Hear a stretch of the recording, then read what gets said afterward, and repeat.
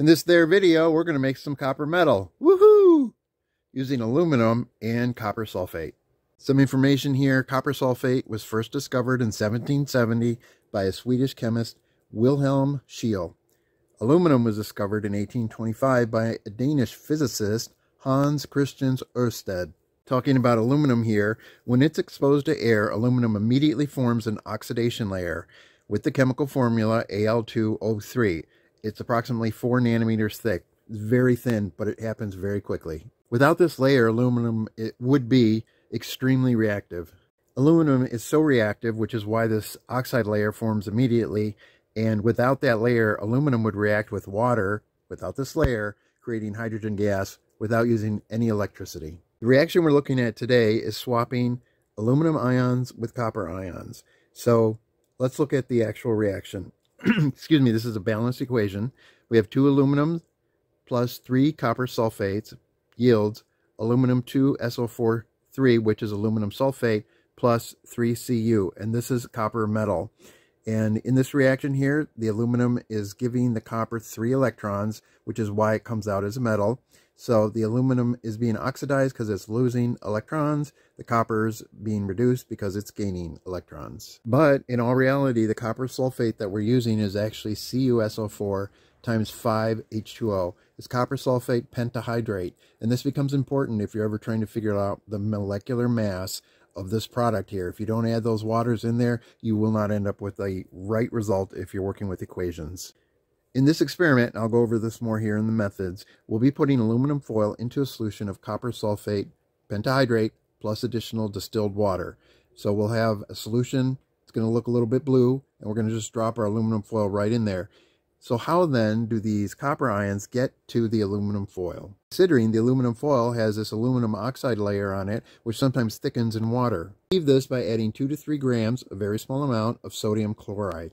You do that, and it's not understood understood exactly how this happens, but the chlorine ions create openings that allow the copper ions to reach the aluminum and do their electron swap. Through these same openings, it also allows some water to get through, and it, the water will be touching the pure aluminum, which we already know creates hydrogen gas, so we will see some hydrogen gas bubbles form because of the water that's sneaking through the openings the chlorine ions are making. For materials, we need copper sulfate pentahydrate, 50 grams, aluminum foil, 4 grams, and this ratio is the best one. It's already been determined. I didn't make this up right here, or figure it out mathematically.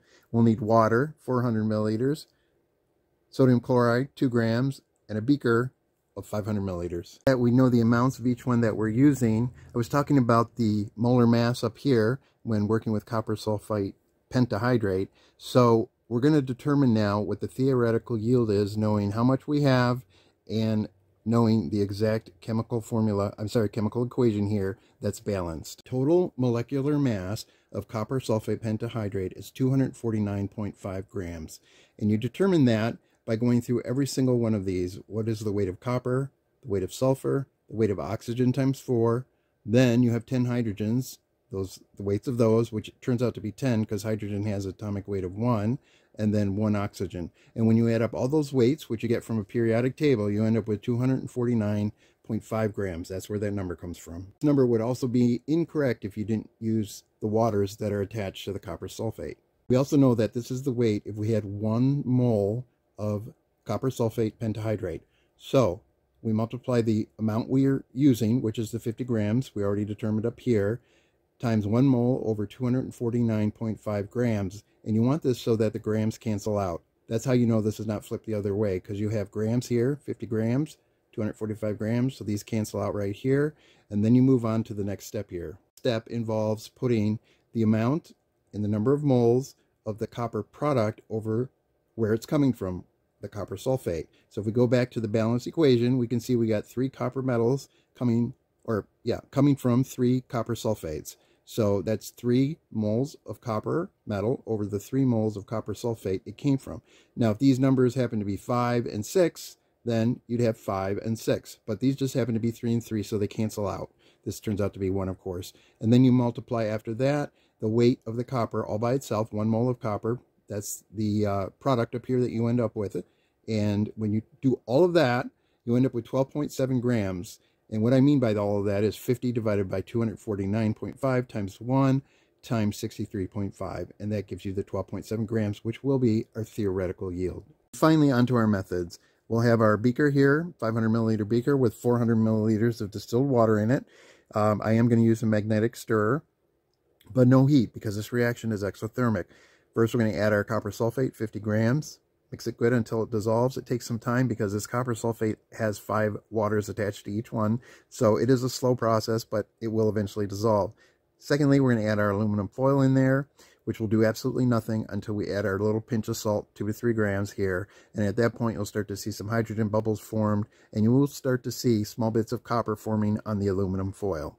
After 20 to 30 minutes, most of this should have reacted, and this will look like a really muddy mess because the copper that's formed are little tiny pieces of copper, and there's a lot of them, so it'll look like brown water probably, to be honest. Uh, next, we're going to filter this uh, solution right here.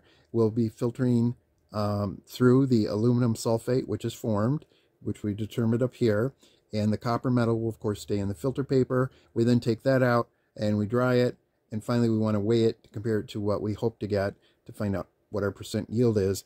But in the end, we'll have tiny bits of copper metal weighing hopefully close to what this is right here. And that's a wrap. Let's go do this and make some copper metal. 50 grams of copper sulfate pentahydrate pre-weighed. 4 grams of aluminum foil pre-weighed.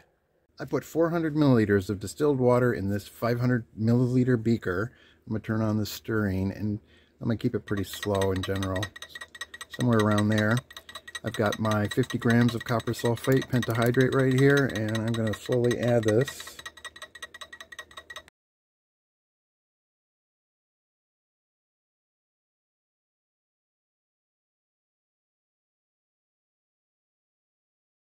I'll be back when this is completely dissolved. It looks like it's as dissolved as it will be. I'm not sure why it's not 100% clear solution or see-through, but um, I'm going to go ahead and put the aluminum in right now. And I'm doing this first rather than adding the salt just to show. Let's turn this off here.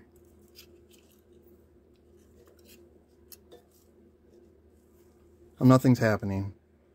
You can see that pretty clearly. I'm going to zoom in. Now I'm going to add the salt. I am going to commence stirring this again at some point, but just for an example here, we're going to put salt around this.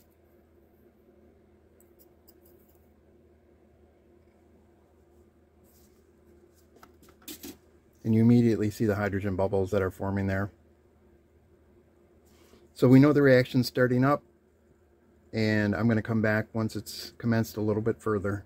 Only been about five minutes. You can already see the copper forming on the surface of the aluminum foil there. And uh, I'm to, and it's heating up also. I'm to start the stirring here and we'll come back in a couple more minutes. Well, the magnetic stir bar seems like it's stuck down there, so I'm to use a glass rod instead. Just to get most of this down in here properly.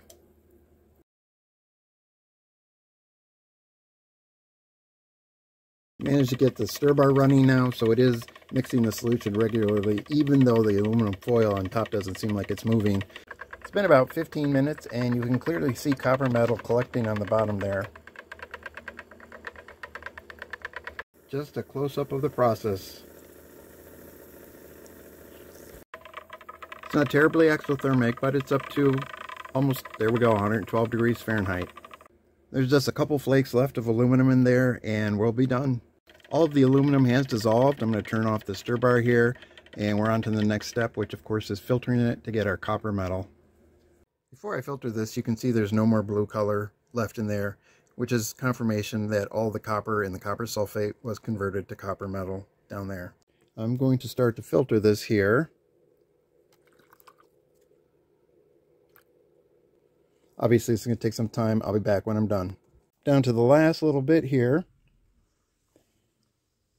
I can tell you, without question, this smells like dirty pennies. Okay, at this point we can certainly use distilled water uh, to rinse out the rest of this. I also am going to, going to clean up the uh, copper first too that's in there with uh, distilled water just to wash out, you know, any of the salt or other stuff that might still be in there.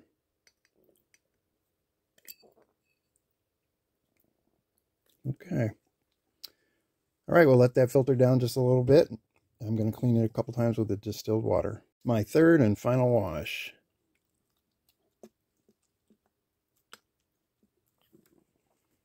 We're finally to the last step of drying this, so I'm going to get this filter paper out of here.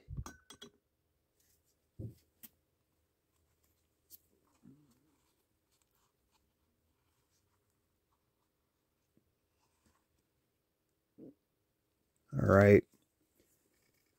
Work on getting this spread out like this. Well, that was actually pretty easy now. Let it sit on these paper towels to dry. And then I'm going to put it on top of the uh, light bulb heater I made and finish the drying there. While that copper metal dries, this is almost all aluminum sulfate, but it's not.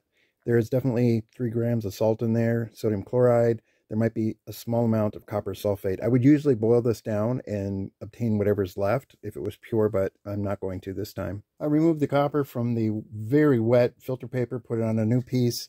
I'm going to turn on the light bulb here and let this sit until it dries. I transferred the copper to a cleaner filter paper here, and uh, it's been on here for about an hour and a half now.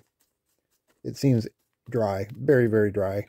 So yeah, it's, you can see the dust coming off the end of here, copper dust. So I'm now going to turn this off and uh, we'll weigh this and see what we got. I've got this 100 milliliter beaker on this scale, tare to zero, and I'm going to do this right here. Let's see what we got here.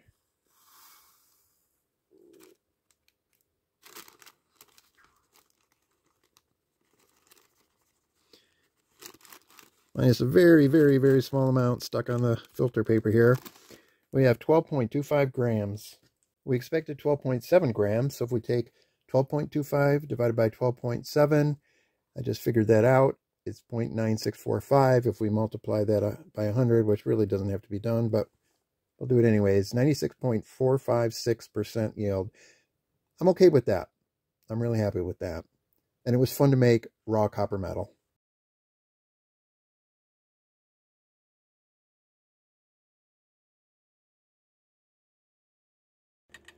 It looks like it's as it does